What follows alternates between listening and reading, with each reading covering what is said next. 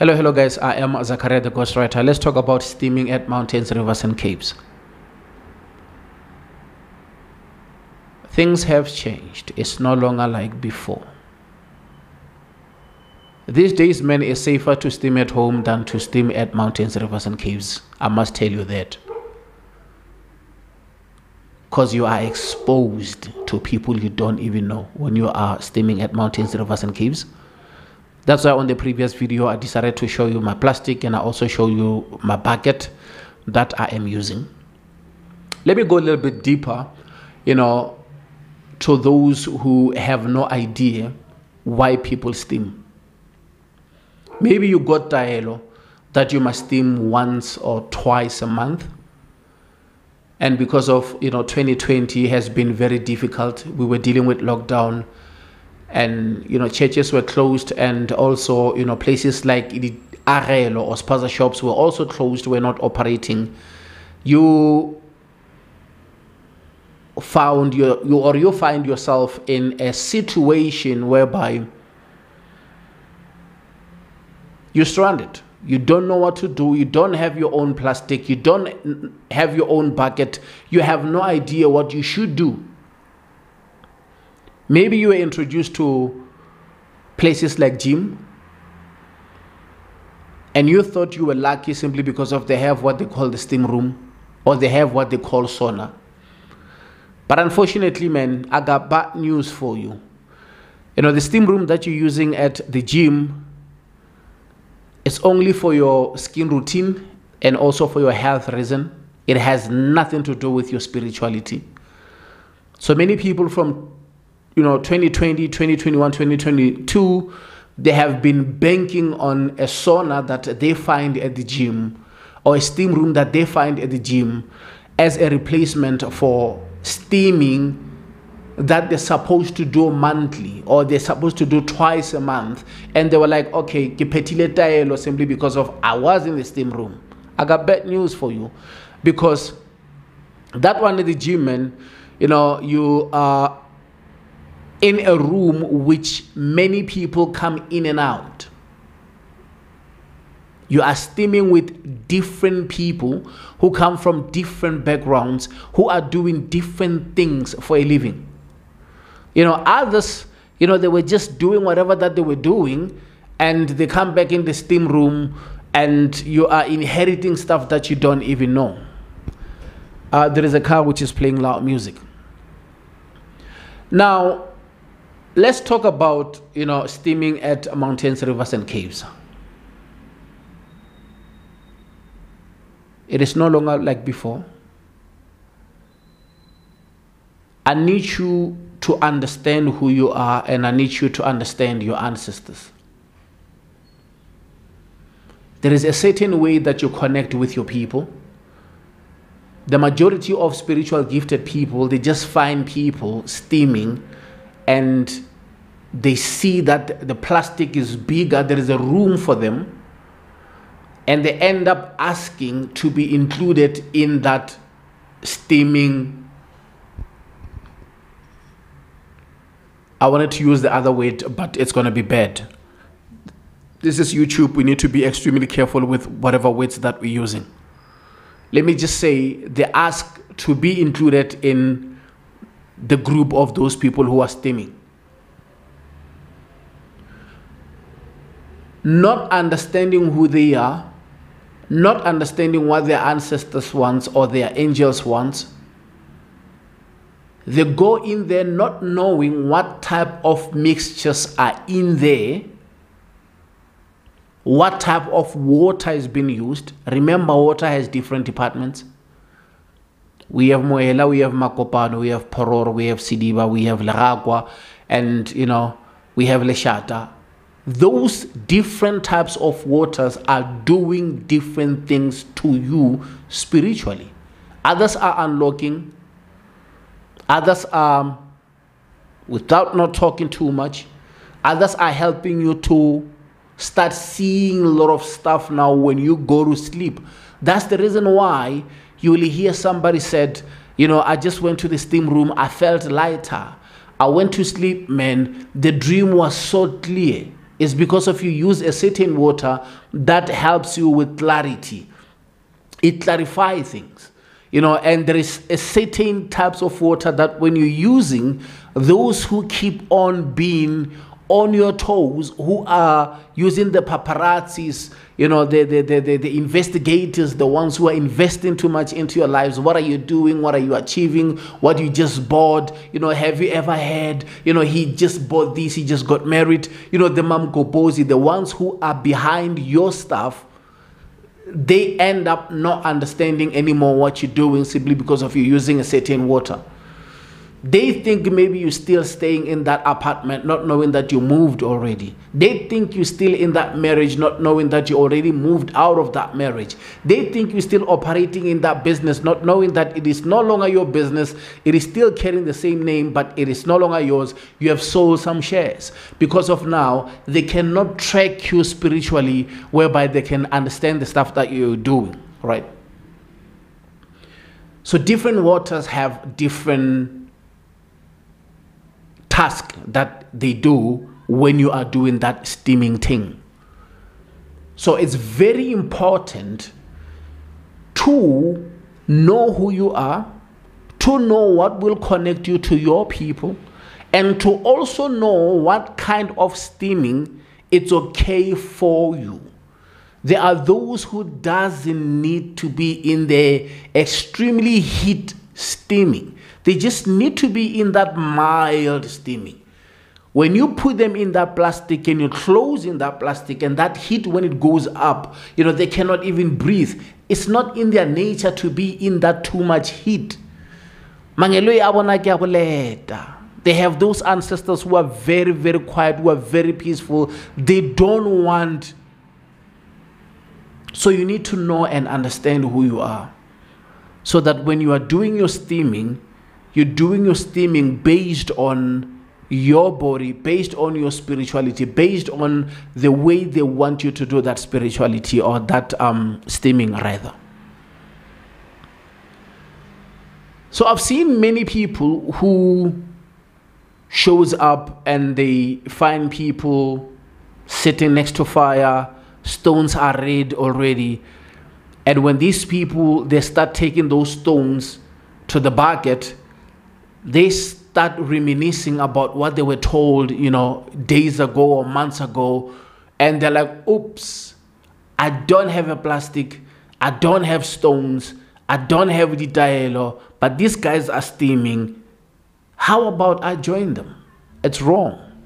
Because of sometimes you join them in the plastic, you don't know what they did yesterday, and you don't know what type of dialogue they are doing. And that's the reason why every time we are done steaming, we have to take the plastic to the water and wash it so that whatever flows with the river whatever energy with which you are removing from your body it goes with the energy. Because certain people are carrying a dark energy whereby they cannot find jobs they cannot you know uh, prosper in life. Everything is just going sideways and they need to steam so that they can remove that darkness. Imagine when you are in the same plastic with the same person who had that darkness. You end up attracting or connecting with that. And at the end of the day, you get surprised now. Things are just going sideways. At work, people, you know, people are just shouting at you. People don't see you as a human anymore. They're just disrespecting you because of you inherited, you know, certain energy that you were not supposed to inherit. It's all about energy. It's all about energy. For you to vibrate in a different manner, in a different level, you need to be your whole self. You need to you need to be who you are. Unfortunately, 90% of us, we are the shadow of what we are supposed to be. Because of we dim down our light, we adjusted how we do things, we compromised a lot, we sacrificed a lot so that we can make other people happy, we can, you know, make a room for other people, we can seen and we can be seen as people who are thoughtful people who are loving and caring and we can make other people feel welcomed not knowing that we are losing our identity we are losing our true self. And when that person that you are compromising, that person that you're trying to accommodate, goes somewhere because of they are also in their journey, you are left with the ghost of yourself, the ghost of who you're supposed to be. You don't know now how you're supposed to go back to yourself because of you neglected yourself because of you were trying to dim down your light, trying to welcome somebody or trying to accommodate somebody. You are dimming your light. And that's why mostly when you see people being given the dialogue like you need to steam maybe twice a month or once a month, is it, is for you to remove that cloud which is in you. That cloud, which we can just say is a cloud, but actually is a different energy because of you are not operating with your 100% capacity simply because of you are a shadow of who you're supposed to be now. So, in that manner, that means you are reducing or you are taking out all the energy which is not supposed to be in your body. Now, you are still you are connecting with your inner being, what they call buena, whereby now you are you are yourself. Your no is no. Yes is yes. You are not in between. You are clear, you know exactly who you are, you know what you're doing and what you are not supposed to do. You know, and unfortunately, the majority of people, we are the ghost of what we're supposed to be simply because of now we are compromising a lot based on the things that we get from you know, trying to play along because people are saying life is a game. Unfortunately, the game is rigged. No matter how hard you try, you cannot win. Why don't you just become yourself? Take a loss, but just know that this is me, this is what I believe in, this is what I want to do, and that's it. This is the path I'm taking as you see me, you know, creating spiritual content, I know it's one of those most difficult uh, type of content that you can create and put it out there because the naysayers always have different ideas and different stuff that they want to say and blame or criticize where they want to criticize. But just create man. Create something which is authentic and put it out there. You will never go wrong with authenticity because of the stuff that you're talking about. They are out there and people are dealing with them a lot. We see the majority of people complaining about they are stuck in life. And we're asking ourselves questions where did we go wrong? The truth is that we are not who we're supposed to be. We have lost ourselves. And it's not about somebody who is out there. The answers that we're looking for is not there that person is not going to bring answers. That prophet is not going to bring answers. That pastor is not going to bring answers. That bishop is not going to bring answers. That traditional healer is not going to bring answers because they are also effed. They have their own problems that they don't even have solutions. And they're also looking outside and they're looking at other people who can bring solutions. We have seen it several times. We have seen people coming from other countries, Ghana, Nigeria, you know, um, Malawi, coming here and they're preaching the word of God. But if you sit down and pay attention, like this guy is still dealing with these problems. The truth is, answers are in us. We have to go internal rather than hoping that people will bring answers from out there. You know, and Steaming man is one of those things, and I know that there are a lot of people who watch my videos in many occasions and they'll be like, Yeah, bruh, you're doing great content, but you're all over the place. You talk about a lot of stuff. I it's like I have horses running in my head. I have so many things that I want to say. You know, unfortunately, in the previous years, I've been holding back a lot of stuff I couldn't say. And that's the reason why I felt like I was talking about different stuff. But I was actually saying what I was saying. If you pay attention, you will understand exactly that I was still saying the same thing. But it's just I was trying to play with words so that I might not get into trouble. But I'm not young anymore. I just want to create content and put stuff out there hopefully someone who is new to this path will sit down and pay attention and to and listen to those who already walked the path.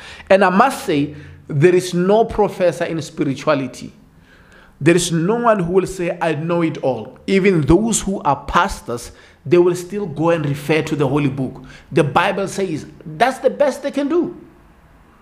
That's the best they can do. Even if you ask them questions, they might try to reason, but at the end, for them to save themselves, they have to say it's written in the Bible. The Bible says. That's how it is. No one mastered spirituality. What you have to master is who you are, understand where you're from, where you're going, obey all the things that you have been told, follow that, pay attention, move with your pace, don't rush it, don't look at somebody who, and I must say this don't look at somebody who did steaming once or twice and get a job and that things are running smooth or who did steaming once or twice and win a ticket from football and they start buying cars and everything and you think maybe it will happen the way it happened to others. No there are those who only need to go to steaming once they go to sleep they get the answer that they're actually looking for maybe in their dream they will be shown that you need to move from limpopo and go to Gauteng, you will get the job at this company. That person will wake up every morning going to one company because of he's been shown that company in his dream, in his dream after he did the steaming. That's how it works. Others do the steaming and they dream about numbers. They will see the granddad or the grand, you know, mom showing them the numbers. They play the lotto numbers and they win the numbers. If it's not the lotto numbers, is this um same time what what I, I don't play numbers a lot i'm the football type of a guy you know they get lucky and they get that money and already they will show them that once you get this money this is what we want you to do maybe do farming maybe start this type of business maybe build a school maybe open a company and that person becomes successful because of what was actually needed from them was them to go steaming so that they will find clarity in their dreams and they can make things happen. So steaming is important. It remove the dark cloud. It remove the negative energy because you all know that we have positive and negative.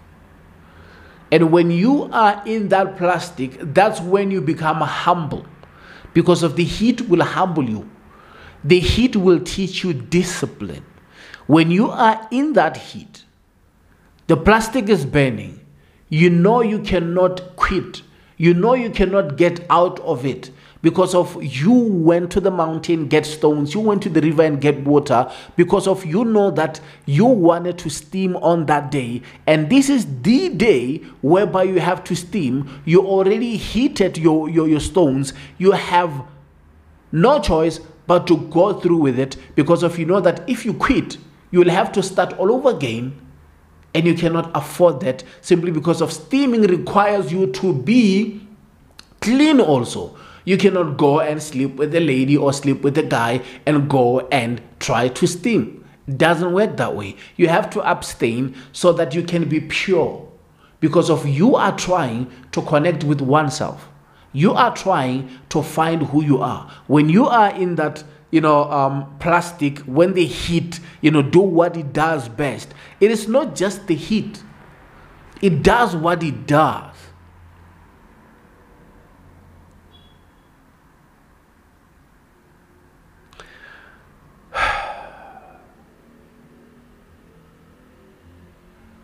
You know, uh, Africans, man, oh, we are lost, man. We are so westernized, man our forefathers, men, have been using the steaming for ages.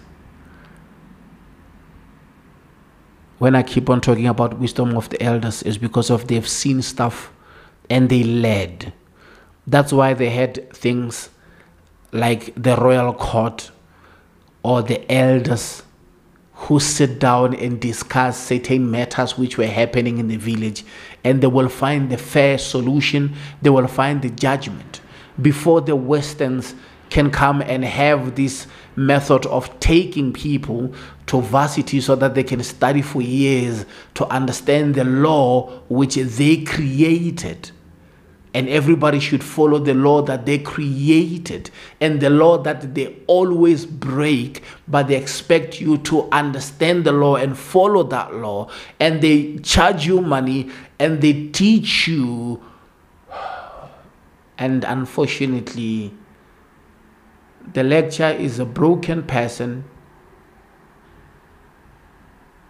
teaching you a law which is designed by a broken person, person who found people living in peace and harmony and do what they do and make them change their culture, make them change the way they're living, and make them do things the way they want them to do things. And from thereafter, they give those people laws that they should follow.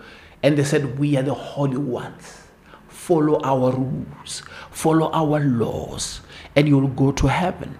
This is how we do things, and this is how we judge. If you judge according to the way we judge, that means you're gonna go to heaven, not the way you have been doing things. A broken person finding people who have been living in peace and harmony, who have been respecting each other, who have been respecting animals, who have been living alongside animals and they didn't even have the things like zoo where they're putting animals in one space. Let me not talk too much. And that person says these are my law. Follow my law. I will give you the degree and you will be the judge. In order for you to get the judgment this is how much you must pay us because of we design the law for you. So that yes you can live like us not like animals. But anyway Oh God, I have so much that I want to say, man. But I'm telling you, the elders will steam, get clarity, make a good judgment. And when the person wronged somebody, they will find that person, and that person will have to pay a cow or a goat or chickens, and life goes on. And people were forgiving. People were forgiving each other because of it was the spirit of Ubuntu. Now you make a mistake they're throwing the keys somewhere. You are in a very small room. I've, I've been in Robben Island. And I can tell you, I can tell you that the lawmakers took our indigenous people from their culture, from how they used to live, and they took them to Robben Island. And they said, This is our law. And the likes of Nelson Mandela, they had to go and study that foreign law so that you know they can be respected and you know being crowned you know the presidente. They're like saying you are a king but the king is not that important. We can make you a president. It's important. You will be called a honorable. But in the bible the king way bigger than the president anyway broken people making broken laws and taking broken people to varsity to teach them the broken law and yeah the entire society become broken and they are looking at everybody and they said why? Why are you behaving this way? Guys steaming is important. Our great grandfathers and our grandmothers have been steaming and they were doing perfectly fine let me leave it here so that I can I can create another video. Forgive me if I'm all over the place. I just want to talk. Let me talk.